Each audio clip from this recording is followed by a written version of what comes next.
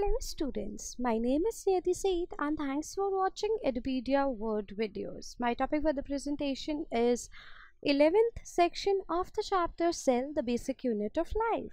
In this section of the video, we will continue to discuss about cell organelles present in eukaryotic cells or eukaryotes.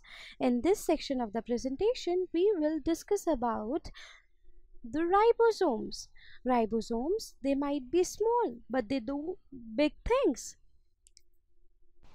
Ribosomes they are tiny organelles. As you can see that these are ribosomes which are very small in nature. They are very tiny that it can't be seen with naked eyes. They are tiny organelles that are found inside cells.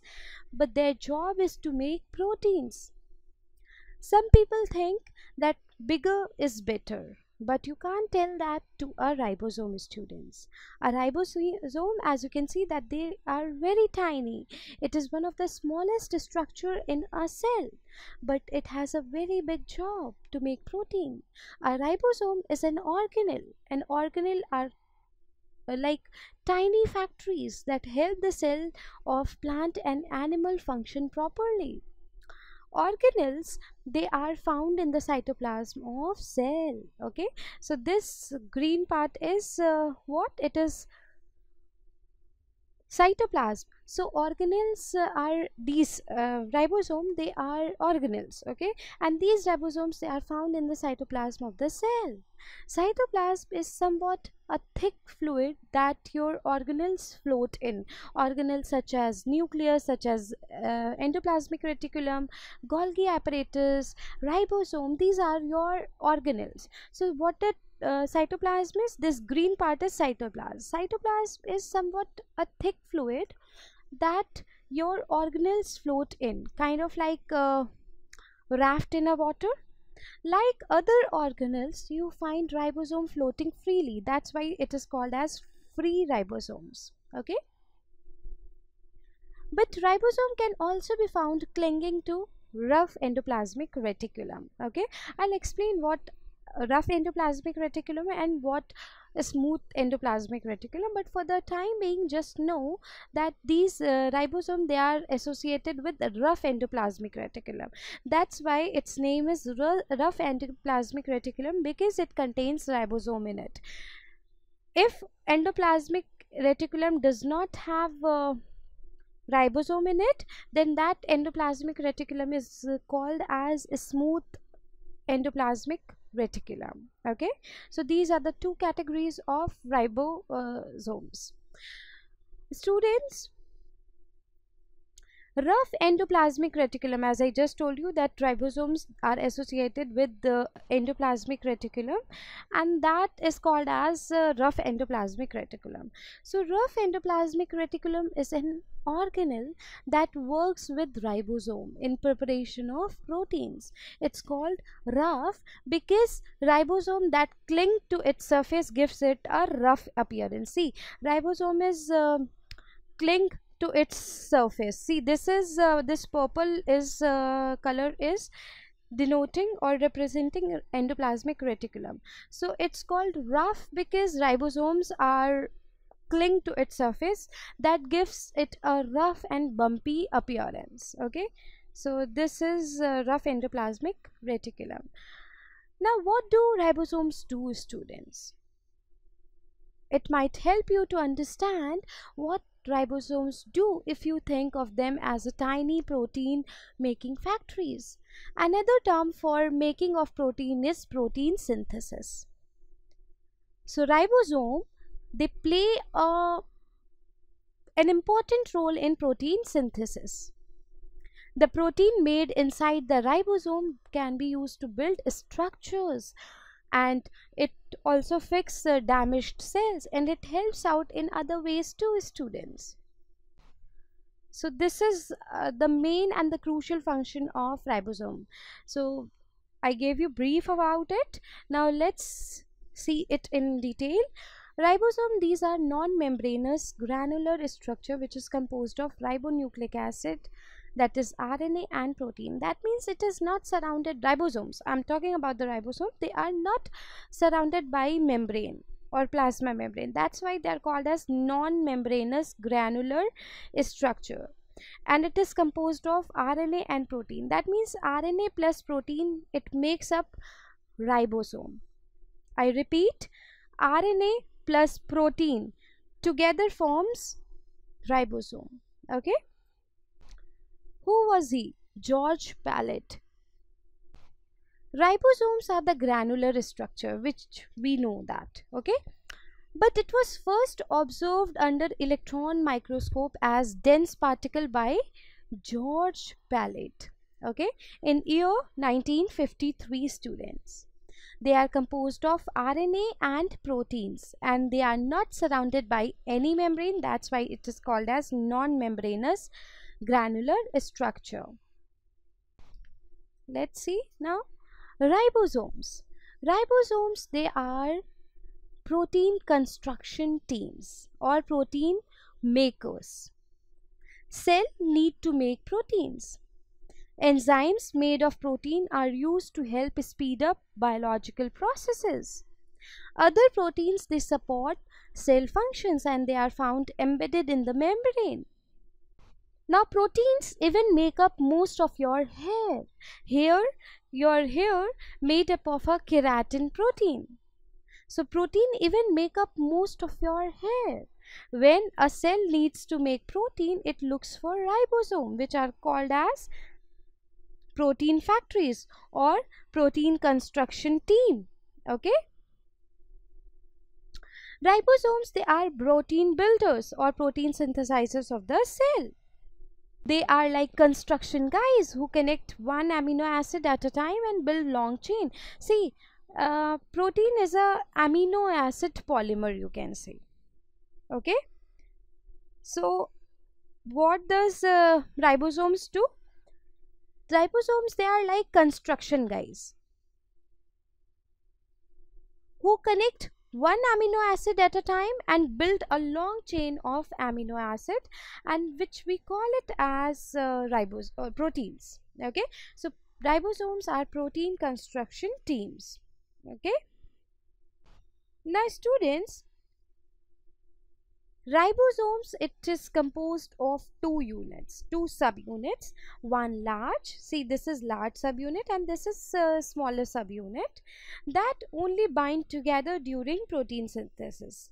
The purpose of the ribosome is to take the actual message and charged amino acid tRNA complex to generate protein. To do so, they have three binding sites which we are not going into detail of it.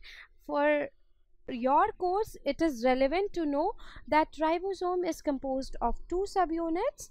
One is larger subunit and uh, another is smaller subunit.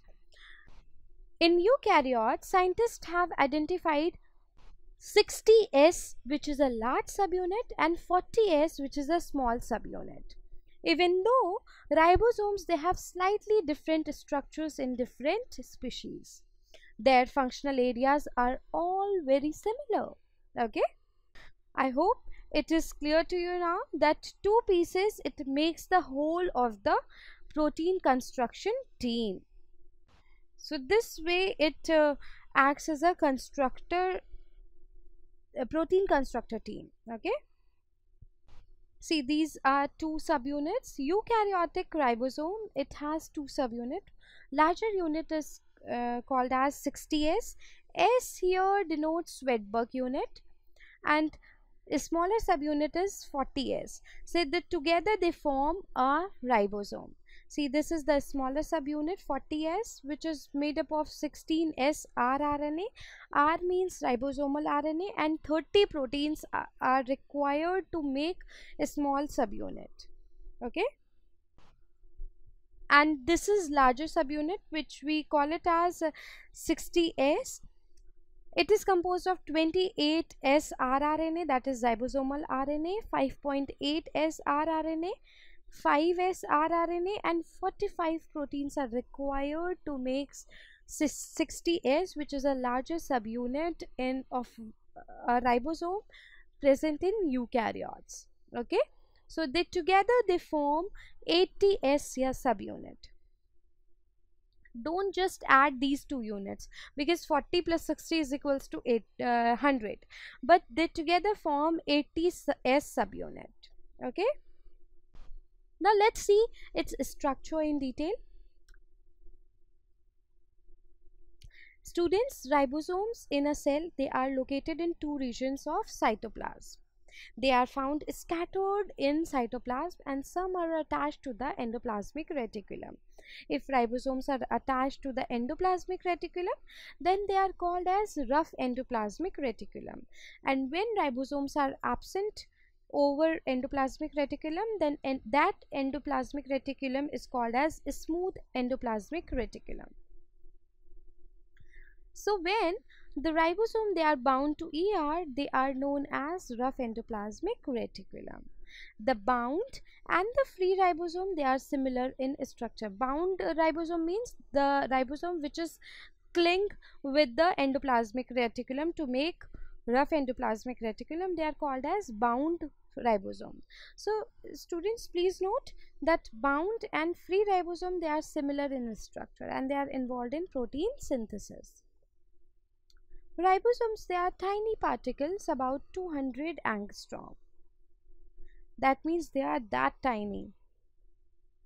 Ribosomes, they are composed of both RNA and protein. That means RNA plus protein is equals to ribosome. About 37 to 62% of RNA are made up of RNA and rest is proteins without harming human cells. Okay, so this was about the structure. Now uh, as i told you that ribosome it is made up of two subunits. One is larger subunit and another is a smaller subunit. In case of eukaryotes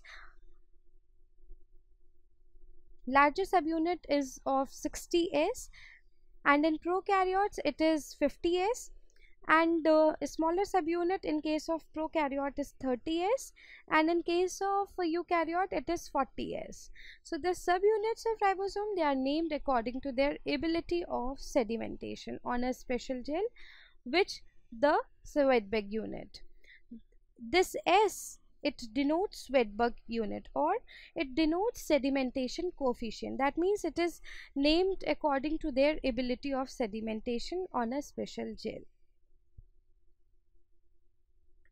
Prokaryotes, they have 70S ribosome. Each subunit contains a small subunit is of 30S and large subunit is of 50S. Eukaryotes, they have 80S ribosomes, each consisting of small and large subunit. Small is 40 and large is 60S in case of eukaryotes. And in case of prokaryotes, it is 70S ribosome is larger unit is 50s in case of uh, prokaryotes and in case of prokaryotes smaller subunit is 30s. Now the ribosomes they are found in chloroplast of mitochondria of eukaryotes that consist of large and small subunits bound together with proteins into one 70s particle. And students please note that the ribosome which is found in chloroplast of mitochondria of eukaryotes consist of large and sub small subunit bound together with the protein into 170s particle ribosome they share a core structure okay ribosome they share a core structure which is similar to all ribosome despite difference in their sizes that means core structure will remain same. Ribosome share a core structure which is similar to all ribosome despite differences in their sizes. Now come to the main functions of uh, ribosomes students.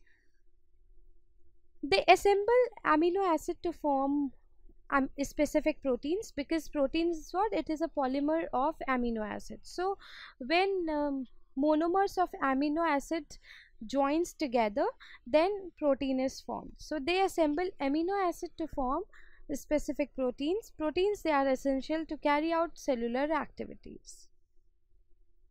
Protein is very much important to carry out metabolic activities in plants or in animals okay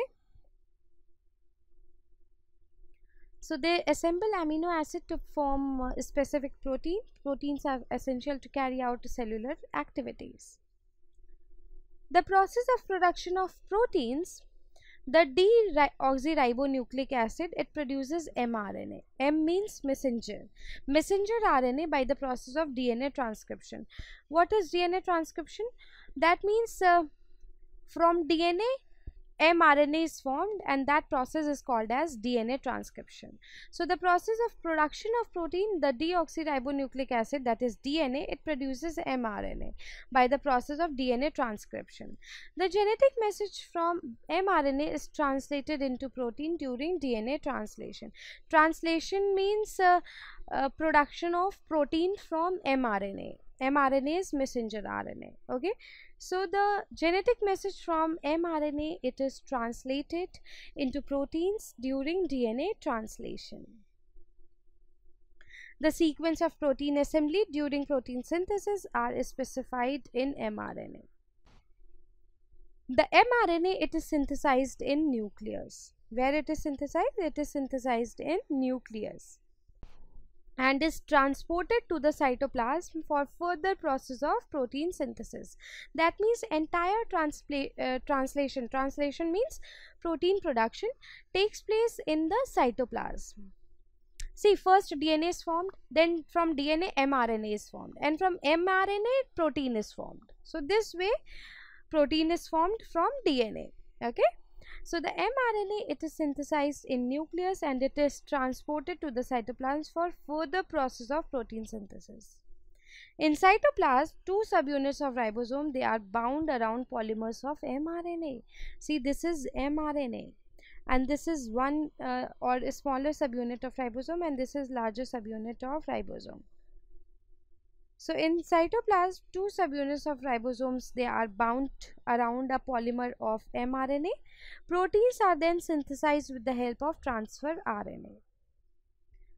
Don't get too much into it, just for the timing know that uh, mRNA or you can say the two subunits of ribosome, they are bound around the polymer of mRNA and from mRNA protein is formed with the help of transfer RNA that is tRNA okay? So the proteins that are synthesized by ribosome they are present in the cytoplasm. They are used in cytoplasm itself okay? So the protein which is synthesized by these uh, ribosome they are present in the cytoplasm and they are used in cytoplasm itself The proteins produced by bound ribosome, they are transported outside the cell. That means a protein which is produced by bound ribosome. By bound ribosome means the ribosome which is cling with the endoplasmic reticulum. So, the protein which is produced by the bound ribosome, they are transported outside the cell. Okay. So, these are the main functions of uh, ribosomes and this was all about important cell organelle present in eukaryotes and that is ribosome which we also call it as protein construction team. In my next section of the presentation, we will discuss about endomembrane system. So till then, stay tuned and keep watching Edupedia World videos. Thank you.